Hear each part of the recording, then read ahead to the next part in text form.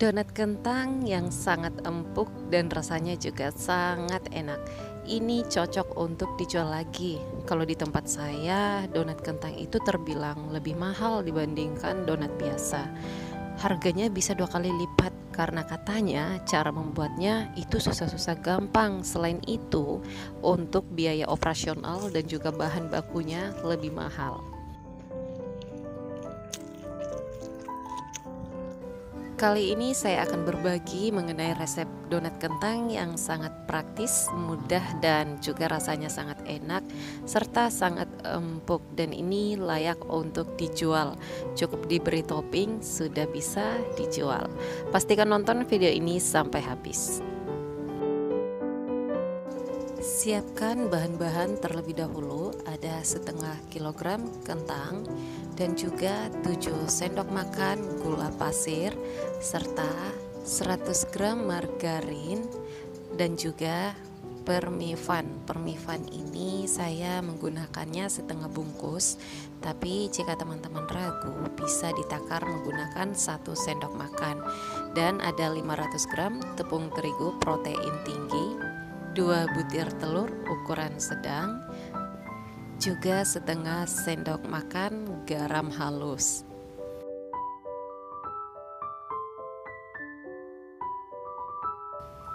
Kupas kentang terlebih dahulu, cuci bersih, kemudian dipotong menjadi empat bagian.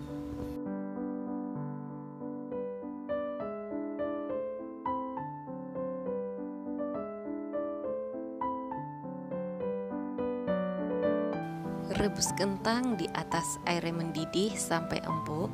Kentang ini bisa direbus, bisa juga dikukus, tapi saya lebih suka direbus.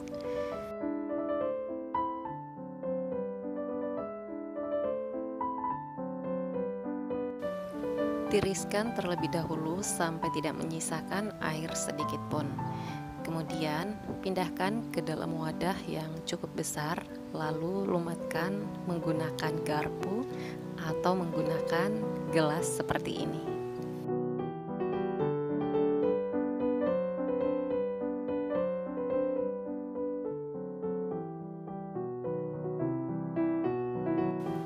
Tipsnya untuk kentang ini harus dilumatkan benar-benar halus, jangan sampai menyisakan gumpalan. Jadi harus dipastikan benar-benar halus untuk teksturnya lebih lembut. Tambahkan gula pasir kemudian tambahkan margarin. Oh ya ini untuk resep lengkapnya sudah saya sertakan di description box di bawah video ini. Dan juga saya sertakan di sini bisa langsung di screenshot untuk memudahkan di kemudian hari bisa recook semua bahan-bahan yang tadi dicampur menjadi satu. Dan diaduk sampai semuanya tercampur kemudian tambahkan permifan ini setengah bungkus atau setara dengan satu sendok makan. Setelah permifannya udah masuk ke dalam adonan ini harus cepat-cepat diaduk atau dicampur semuanya hingga menyatu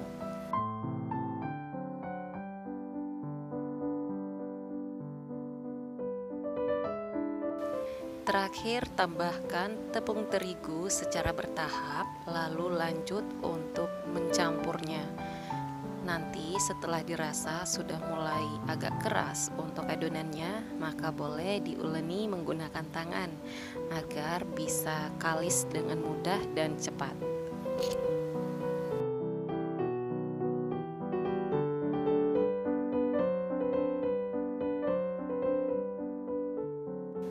Diuleni terus sampai adonannya jadi tidak lengket dan juga jadi terasa ringan.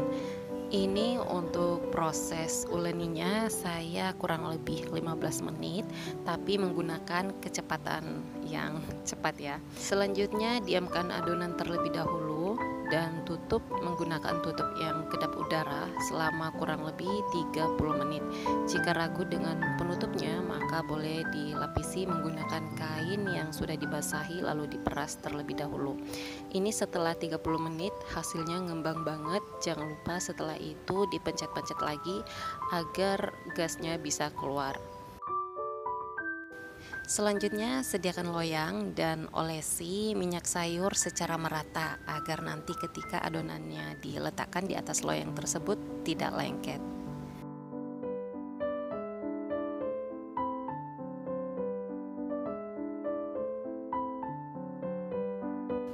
Lanjut kita bentuk adonan dengan cara dipencet-pencet. Ini caranya kurang lebih sama seperti membuat pentol bakso lalu dipencet dengan ukuran ya pakai perkiraan aja untuk besarannya. Tapi kalau teman-teman mau menjualnya pastikan untuk ukurannya itu harus betul-betul sama besarnya. Karena ketika nanti ada yang besar ada yang kecil ntar tampilannya kurang bagus dan bisa rugi di harga jualnya juga. Karena otomatis yang lebih besar akan menggunakan adonan yang Tutup kembali menggunakan kain agar adonannya tidak kering. Kemudian panaskan minyak di atas teflon atau wajan menggunakan minyak yang cukup banyak. Lalu beri lubang pada donatnya menggunakan tangan yang sudah diberi tepung terigu agar pada saat membuat bentuk lubang di tengahnya donat tidak lengket.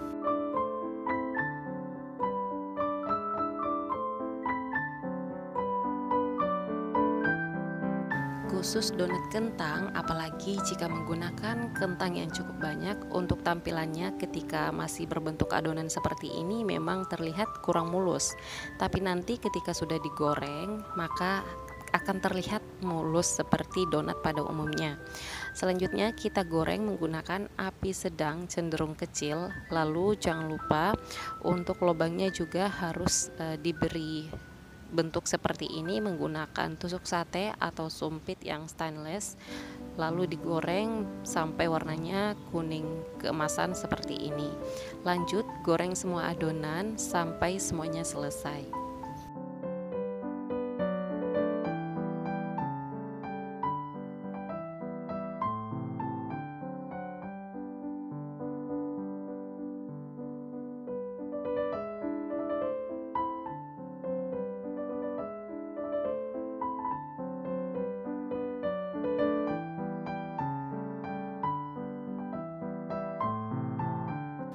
bisa dilihat di sini untuk tampilannya sudah mulai kelihatan mulus. Padahal tadi pada saat masih berbentuk adonan kelihatan agak ada kasar-kasarnya gitu ya. Teksturnya tidak terlihat mulus. Tapi ketika sudah terkena minyak dan juga sudah mulai ngembang lagi maka sudah kembali terlihat mulus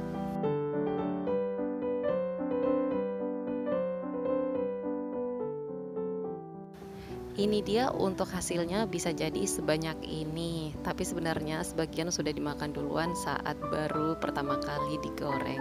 Karena donat kentang ini sebenarnya jika dimakan pada saat masih hangat rasanya itu enak banget renyah-renyah gitu ya.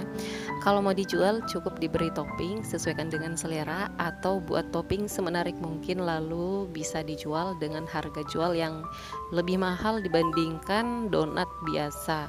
Kalau di tempat saya donat kentang itu per bijinya harganya 8000 sedangkan kalau donat-donat biasa harganya 35000 itu kalau di daerah saya karena saya tinggal di uh, Indonesia bagian tengah dan kebetulan harga makanan di sini mahal banget Baiklah, itu saja. Jangan lupa jika suka dengan videonya, beri dukungan dengan klik like dan share serta subscribe agar tidak ketinggalan dengan resep-resep berikutnya. Terima kasih banyak sudah menonton videonya sampai habis. Sampai ketemu lagi di video berikutnya.